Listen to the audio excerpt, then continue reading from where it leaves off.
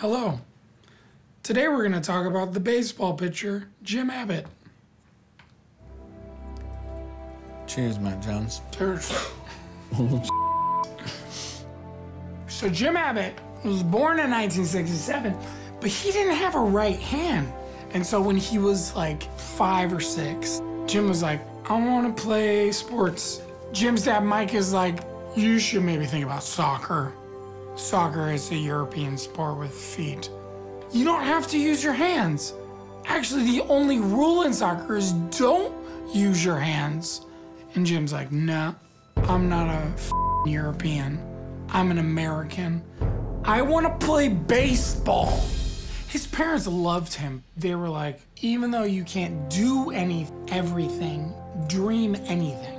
There, he had to develop his own method to play baseball. He used to practice against the wall in his backyard. Then he would go closer and closer and closer as he got older until he was right up against the wall and catching it like that. In his first Little League game ever, he pitched a no hitter. You pitch a nine inning game and no one gets a hit. So then, after he had the no hitter, years later, word got out to the high school coaches and they were like, he can throw a ball, sure. But what if someone hits a ball to him? And as soon as he said that, Jim was like, You wanna see this? Pitch. Someone hit a hard grounder straight at Jim Abbott. Catch. Hand out of glove. Throw out at first base. All within like a half a second. So fast. And the high school coach was like, Oh, never mind. You just answered my question. Put him on my team. I'm an ass. Oh, Jesus Christ. Wine is the devil? okay, where are we at? Oh, I got it. I got it. I got it.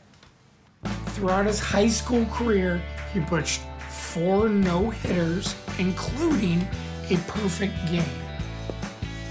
So he gets his education, plays for the University of Michigan, the Wolverines. When he got there, there was so much press there after the two bad games people are like, ah, he sucks. This is a publicity stunt. This guy is not a real pitcher. They're just trying to be nice to a kid with a handicap, and all of the press left.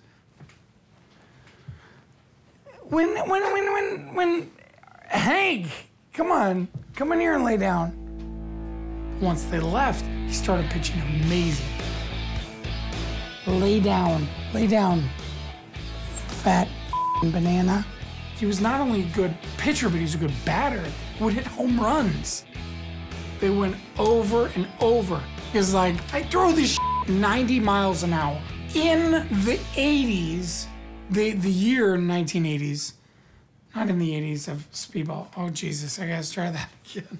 No, you're fine. So I'm gonna throw the ball in the 80s miles per hour in the 1990s, which is very impressive. You switched them up.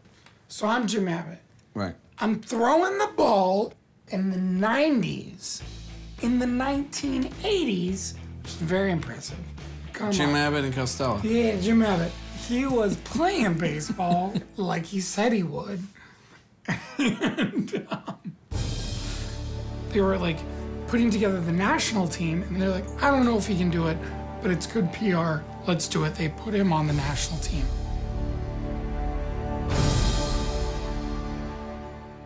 He gets put on the national team, and the national team take him down to the Pan American Games. And the biggest superpower in the Pan American Games is Cuba.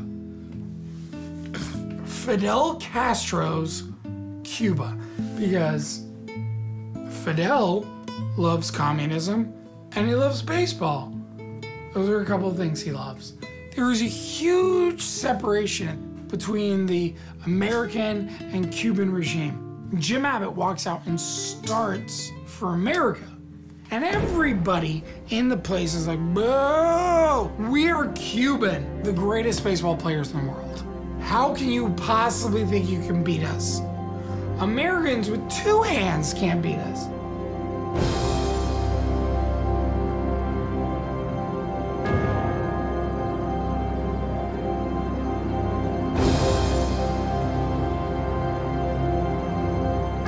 Was like, Oh, that's nice that you're Cuban. I don't give a shit.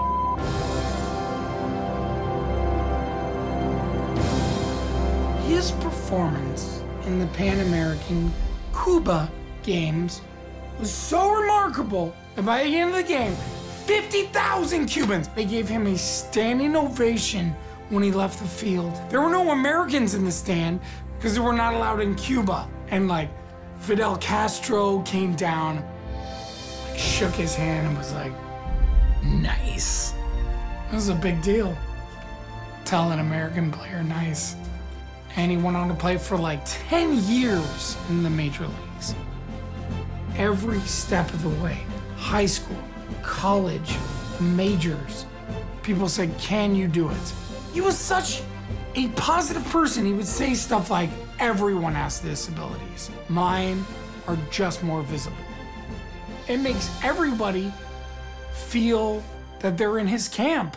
It's incredible. I respect that. Sh- Look at your limitations and say, you limitations. I'm gonna do whatever I want. And that's the American dream. Wow. Um, what else do you want to talk about?